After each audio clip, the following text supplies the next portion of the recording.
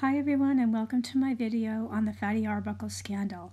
Over the Thanksgiving holidays, I managed to get into the St. Francis Hotel, and not only did I manage to get into the St. Francis, but I also got into the fateful room 1219, where Fatty Arbuckle and Virginia Frappe's fates came together, and uh, Virginia Frappe ended up dying five days later from peritonitis brought on by a ruptured bladder.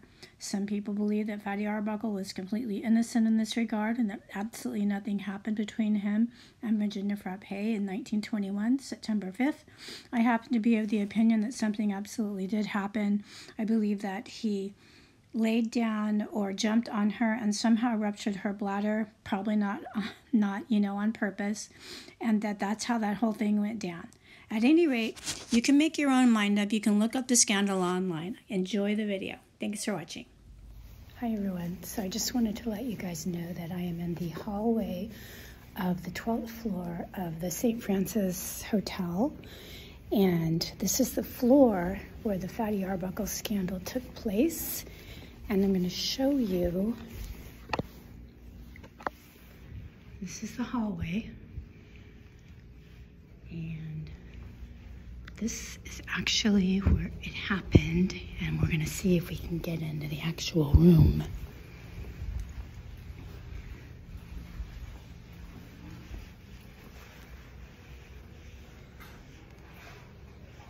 This is it in 2019.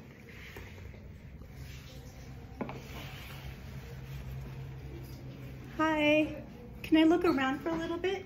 What? Can I just look in here for a little bit? Just want to look for a little bit. You don't know? Yeah, in this room. Just Okay. want to look. You go to me? No, I'm just looking. I'm Oh, just okay. looking. This is Oh. where it happened. Where's your key? Yeah. The. The key card. Oh, I don't have the key card. It's I have a key card for my room. here.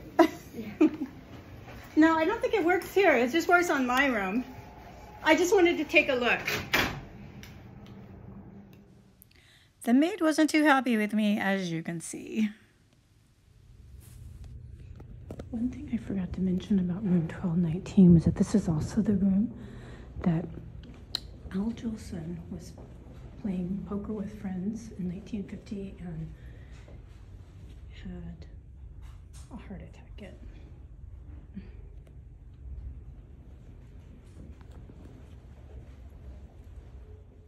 I wanted to show you these two adjoining suites to room 1219. They were also a part of the party that happened in 1921.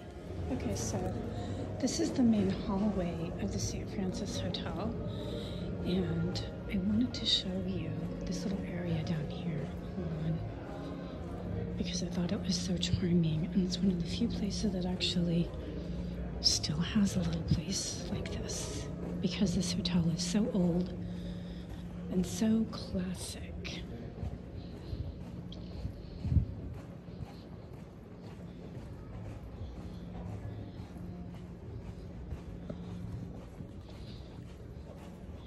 It actually has this little, a lot of people know about this, is it's actually got this little shoe sign place down here. People used to come and have their shoes shined. And there's also another reason why I wanted to show you this part of the hotel.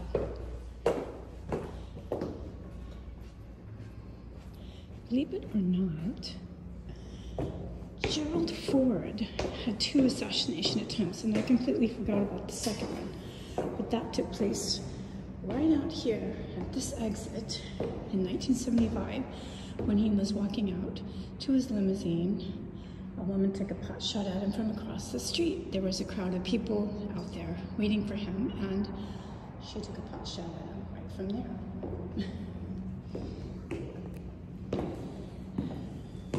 I'm going to take you into the main lobby of the hotel.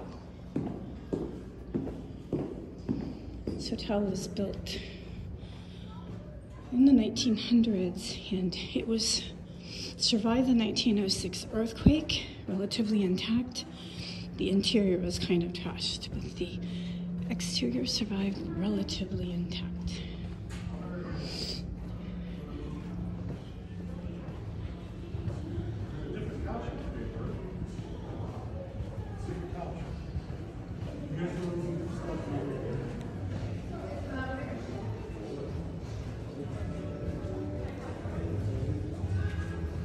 This is the lobby.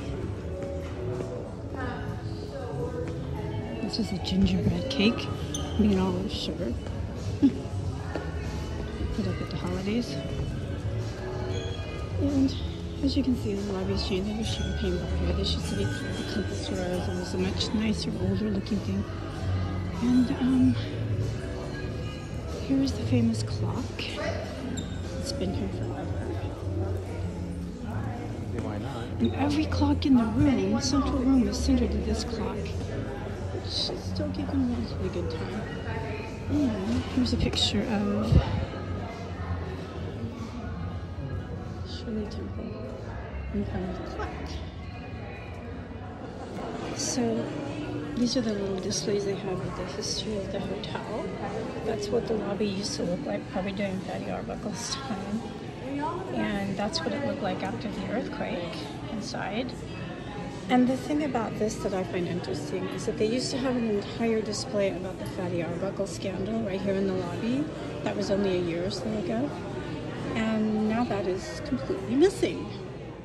Hi everyone, so I hope you enjoyed the video. I kind of did it on the fly, which is why it wasn't the greatest. Also, I had to be sneaky because uh, I wasn't really supposed to be in room uh, 1219 or 1220 or 1221, but I managed to get a picture of 1219 and I did manage to get a picture of 1220 and 1221, uh, video, whatever, and uh, that's where the Fatty Arbuckle scandal took place and where uh, Virginia Frappe was uh, victimized either by Fatty Arbuckle or whatever, you know, it's up to you to decide.